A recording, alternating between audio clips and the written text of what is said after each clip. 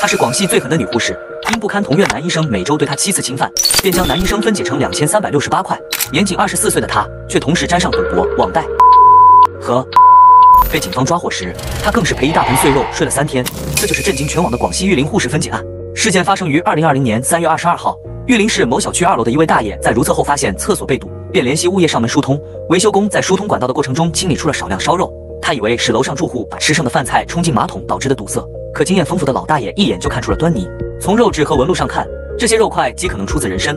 老大爷当即拨通了报警电话，而玉林警方同时还接到了一位女子的来电。报案女子称自己的丈夫叫罗远建，在市一医院上班，现在已经旷工失联三天了。警方迅速出警，在老大爷小区的化粪池内找到了大量烧肉，并在小区停车场发现了一辆登记于罗远建名下的宝马车。经 DNA 检测，这些肉块正属于失踪的医生罗远建。由于该小区的下水道是整栋楼连通的。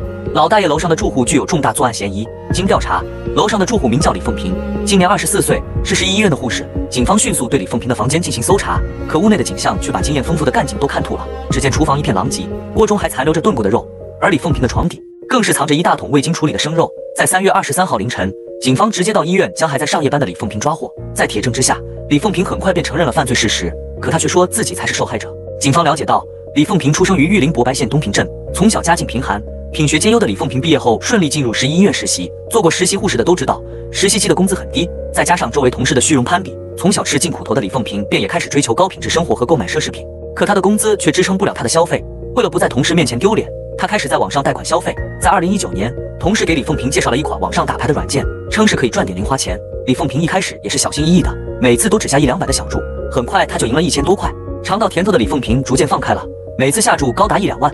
甚至还骗来亲戚朋友的证件去贷款打牌，结局也可想而知。李凤平输掉的钱加上欠下的款项，总计两百九十万。这时候他才开始慌了，走投无路的李凤平想到了自己的上司罗远建。罗医生出手阔绰，每天开宝马上班。他试探性的向罗医生发去短信，希望能借二十万应应急。没想到罗医生立马答应了，但罗医生要求李凤平去他指定的酒店当面交易。李凤平也没多想，下了班就去到酒店。可一进房间，罗医生就强行侵害了他。事后罗医生也很爽快的转了六万给李凤萍，剩下的十四万则要分两周。每周七次见面付清，为了钱，李凤平也只能被迫答应。为了方便两人办事，罗医生在医院附近的小区租了一间房子给李凤平住。两周后，二十万顺利到手，但罗医生强迫李凤平写下借条，并附加了百分之五十的年利率。为了满足自己的兽欲，罗医生还要求李凤平要随叫随到，每周至少要和自己见面五次以上，并且不能和其他异性交往。如果李凤平敢反抗，他就把这些事捅到李凤平老家，让他们一家人都身败名裂。李凤平没有办法反抗，只能任由罗医生摆布。最后，罗医生甚至想要李凤平替他生个儿子，每天都和这个五十多岁的老男人同床共枕的日子，他已经受够了。案发当天，两人办完事后，李凤平灌醉了这个老男人，随后拿出皮带将不省人事的他勒死。等罗医生断气后，李凤平转走了他手机上的十一万元，还用罗医生的身份在网上进行贷款。可在人脸识别时，不管李凤平怎么摆弄，都通过不了。在罗医生没有价值后，他开始进行分解工作，并最终冲进马桶。由于分解工程比较繁杂，李凤平白天上班，晚上回家分解睡觉，直到三月二十三号凌晨。李凤平被抓获，检方认为李和罗存在不正当男女关系，并在杀害罗后盗取了罗的财产。最终，李凤平以故意杀人罪和盗窃罪被判死刑，并罚款三万元。可李凤平却坚称，他和罗医生的每一次都是被迫的，并提起上诉。